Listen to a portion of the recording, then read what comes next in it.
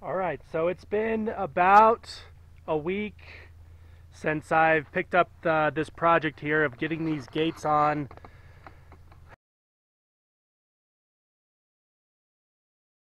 And getting the latch on for this guy over here. Um, I got our welder back. Super big thanks to TNA Rebuilders out of Albuquerque. Uh, he was awesome in uh, getting right on this and getting it fixed. It was this on-off switch that was causing all the problems. So he went through it and made sure was, everything was good to go. So super thanks. If you need his contact info, drop me a comment, shoot me an email, and uh, I'll get you his contact info over there. All right, so if I remember right, we were at the point of needing to get this leveled out and tack it on and then uh, we would be ready for a latch and a latch. Then the gate project will be done. We do owe a little bit of piping right here. Um, and then that will take care of this project. So let me get this gate leveled up and uh, we'll get this uh, welder fired up and we'll glue this thing on.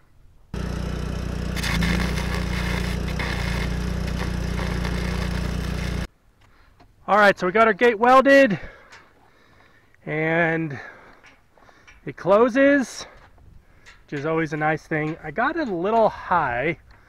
I'm to bend that down just a little bit. There we go. And it closes this way fold back. Beautiful. And it stays put. That's even great too. Okay, so the next thing we got to do is go build two latches so we can close these gates. So we got to get a measurement and then uh, we can do it. So This guy, we put a latch in here.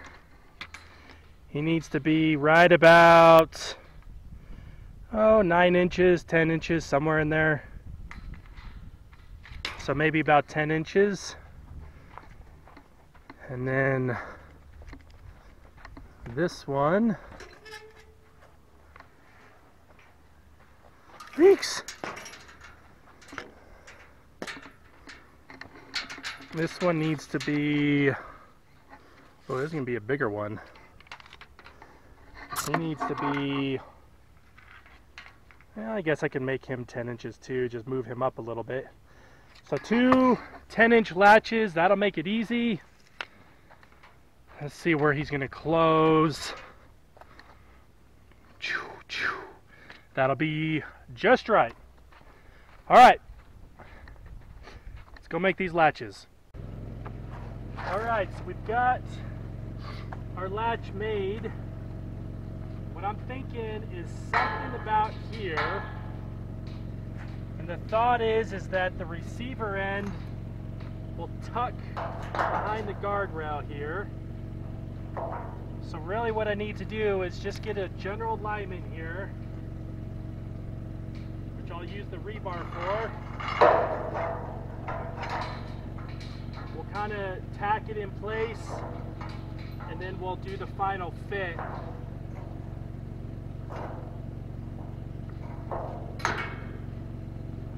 Something about like that, I think.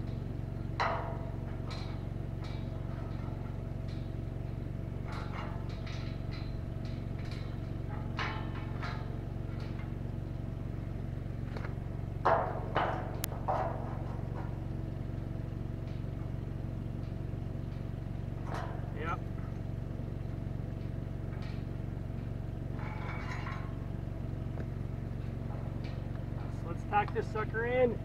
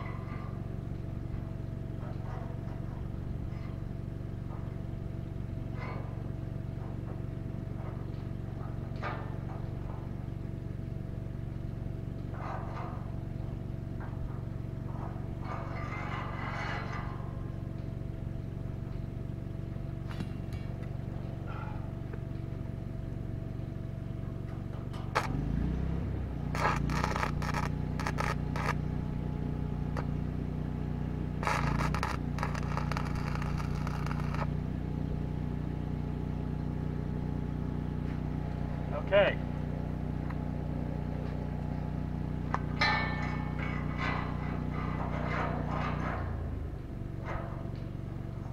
Now we can align it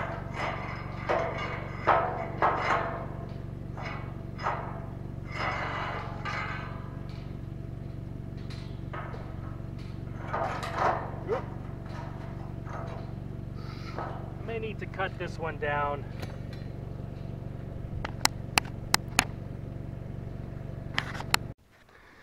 All right, well, we got the latch in. We got our belts and suspenders in. Let's give it a test drive.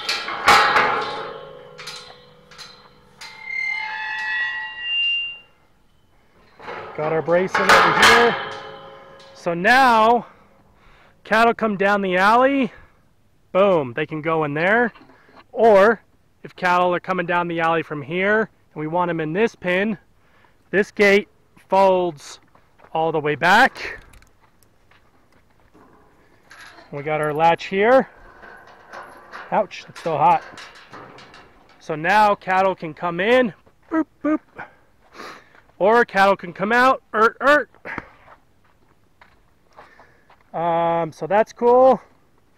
I also can close this gate. Is one cool thing about having these longer alleys. Um, also, before I close it all the way, if cattle are coming in this way, so now the gate closes here, like that. And now this gate closes here and we got our belts and suspenders there. Um, but what I was saying is now we can use this gate as a sorter both ways. So I could sort into this pen, I could sort into this pen. Uh, it's really, really, really nice.